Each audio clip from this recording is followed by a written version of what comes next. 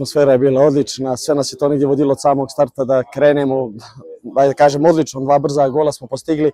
iskreno to je nešto što smo pokušali prvih 15 minuta i da napravimo visok pritisak. Nakon toga možda nas je taj rezultat malo vratio, spustio neki srednji blok, vratili smo se, protivnik je dao gol, imali su još prilika,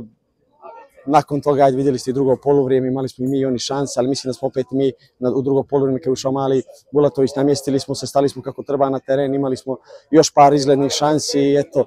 mislim da smo učinili Podgoricu ljepšom očas. Andrej Kostić, e,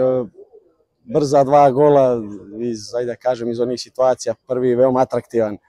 treći iz penala, mislim da dovoljno tri gola govore o njemu, opet evropska utakmica, nije uopšte lako, ovo je ozbiljna ekipa, e,